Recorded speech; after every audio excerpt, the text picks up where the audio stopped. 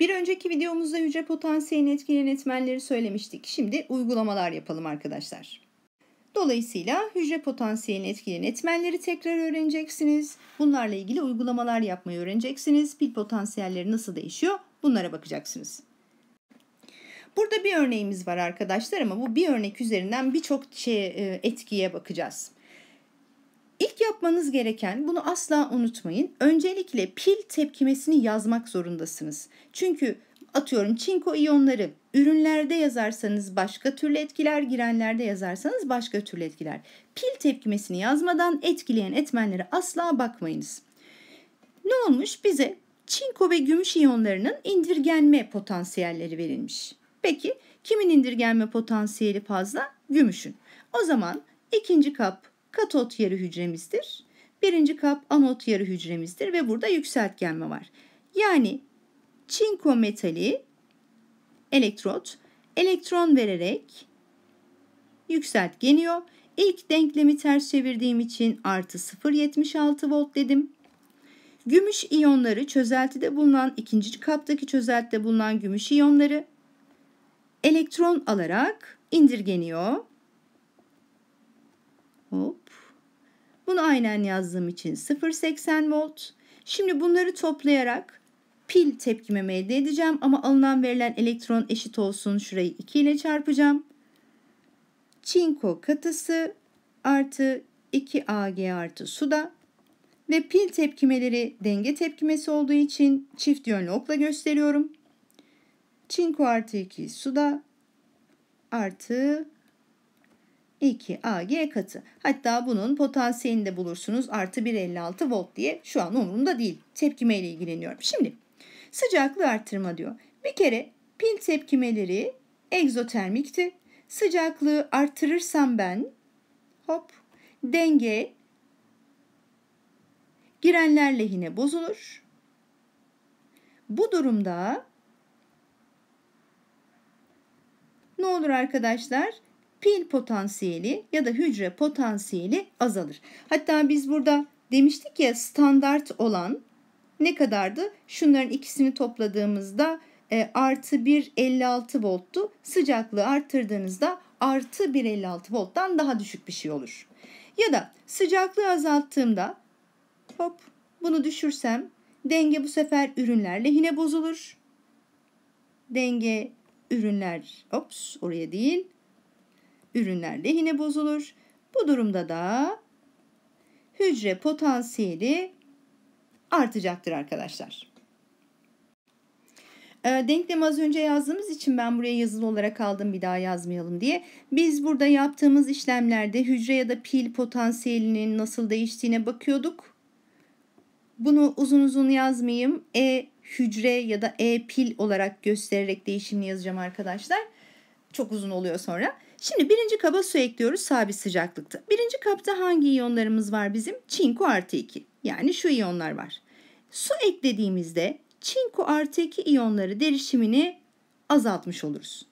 Peki denge ne tarafa bozulur dersek? Denge çinko iyonları derişimini azalttığımızda hop bunu arttırmak isteyecektir. Denge ürünler lehine bozulacak e bu da ne yapar? Ürünler lehine bozulduğunda hücre potansiyelini arttırır arkadaşlar.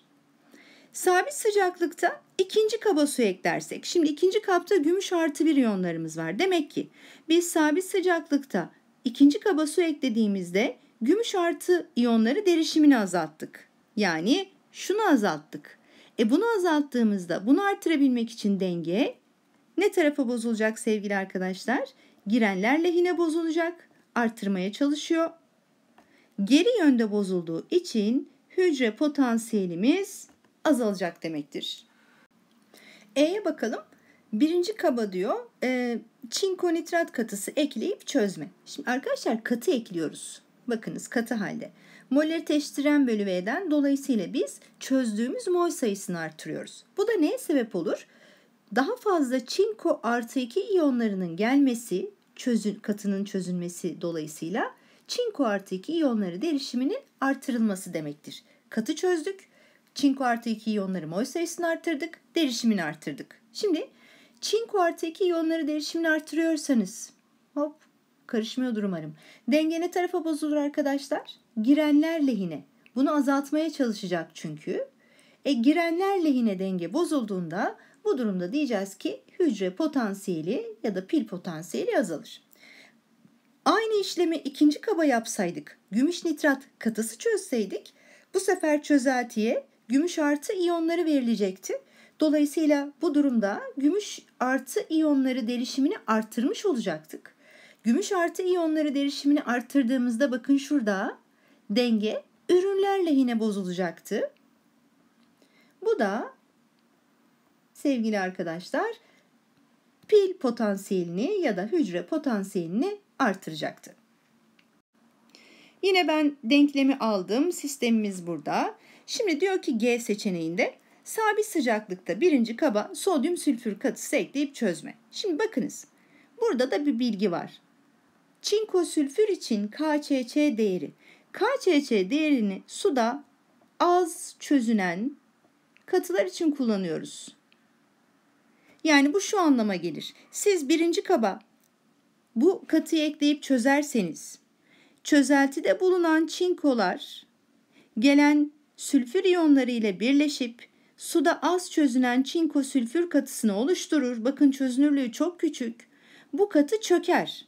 E bu katı çökerken sülfürlerle birlikte çözeltide bulunan çinko iyonlarını da çöktürür.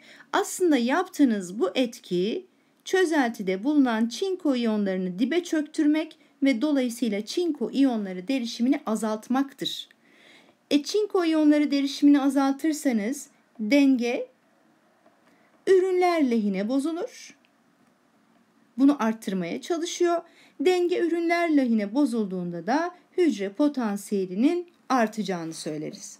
Şimdi bu e, dibe çöktürme işlemini ya bu şekilde KÇÇ ile verir ya da diyor ki ikinci kaba sodyum klorür tuzu ekleyip çözüyorum. Gümüş klorür katısının sudaki çözünürlüğü ihmal edilecek kadar azdır. Yani dibe çökecektir diyor. Bu da e, çözeltide bulunan gümüş iyonlarının gelen klorür iyonları ile birleşip gümüş klorür katısını oluşturduğu ve bunun dibe çöktüğü anlamına gelir. Çözünürlüğünü ihmal edeceğim. E bu çöküyorsa o zaman gümüş iyonlarını dibe çöktürüyorum demektir. Yani yaptığımız bu işlem çözeltideki gümüş iyonları derişimini azaltmaktır. Gümüş iyonları derişimini azalttık. O zaman denge bunu arttırabilmek için girenler lehine bozulur. Ben buraya bozulurları yazmıyorum. Çok uzun oluyor. Girenler lehine bozulur. E, girenler lehine bozulduğuna göre hücre ya da pil potansiyelimiz azalır. Böyle bir şey verdiğinde var olan iyonu dibe çöktürüp derişimini azaltmaktan bahsediyoruz aslında. Sorumuzun diğer seçenekleri. Sabit sıcaklıkta çinko elektrotun kütlesini artırma. Şimdi arkadaşlar çinko elektrot katı halde. Katı ve sıvıların derişimleri değişmediği için denge etkisi yoktur. Dolayısıyla yaptığım bu işlem hücre potansiyelini değiştirmez.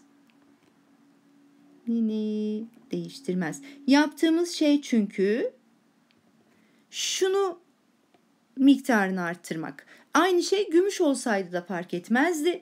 Elektrotların kütlesini ya da boyutunu değiştirmek hücre potansiyelimizi değiştirmiyor diyoruz. J'ye baktık. Sabit sıcaklıkta birinci kaba derişimi 1 molar olan çözelti ekleme. Şimdi biz daha önce yaptığımız buna benzer bir örnekte katı ekleyip çözmüştük. Katı çözdüğümüz için de derişim artmıştı. Ama burada bakın çözeltide 1 molar çinko artı 2 iyonları vardı. E çözeltimden de 1 molar çinko artı 2 iyonları derişimi geliyor. Eşit derişimli karıştırdığıma göre son durumda da yine çinko iyonları derişimi yine 1 molar olur. Derişim litre başına düşen mol sayısı demektir. Eşit derişimli maddeleri karıştırırsanız derişim sabit kalır. E derişimi değiştirmediğime göre çinko artı 2 iyonları derişimini değiştirmediğime göre sevgili arkadaşlar yine hücre potansiyeli değişmez. K'ye bakalım. Sabit sıcaklıkta birinci kaba derişimi 2 molar olan çinko nitrat çözeltisi ekleme. Yine çözelti ekliyorum. Şimdi Başlangıçta çözeltide 1 molar çinko artı 2 iyonları vardı. Biz bunun üzerine içerisinde 2 molar çinko artı 2 iyonları olan daha derişik çinko iyonları koyuyoruz. Dolayısıyla son durumda çinko iyonları derişimi sevgili arkadaşlar 1 molardan büyük 2 molardan küçük arada bir değer alır. Yani yaptığımız işlem çinko iyonları derişimini artırmak olur. E derişimini artırırsak hop denge ne tarafa bozulur arkadaşlar? Girenlere bozulur denge. Denge girenler lehine bozulur. E bu durumda da hücre potansiyelimiz ya da pil potansiyelimiz azalır. Yani şunu tekrar söylemek isterim ki elektrotlar katı olduğu için bunların kütlesinin hücre potansiyeline etkisi yoktur. Eğer derişim değişmiyorsa çözelti hacminin artması pil potansiyelini değiştirmez. Bunlar sadece pilin ömrünü uzatır. Hani 1,5 voltluk küçük bir pil ve 1,5 voltluk büyük bir pili düşünün. Siz daha büyük bir hacimde, daha büyük bir elektrot kullanırsanız daha uzun süren bir e, pil elde edersiniz ama birim zamanda elde ettiğiniz enerji aynı olur. Ancak eğer derişimi değiştiriyorsanız bu durumda hücre potansiyelini değiştirmiş olursunuz. Ee, arkadaşlar burada tek bir örnek üzerinden görebileceğiniz tüm etkilere baktık. Bundan sonraki videolarımızda başka başka örneklerle görüşmek üzere.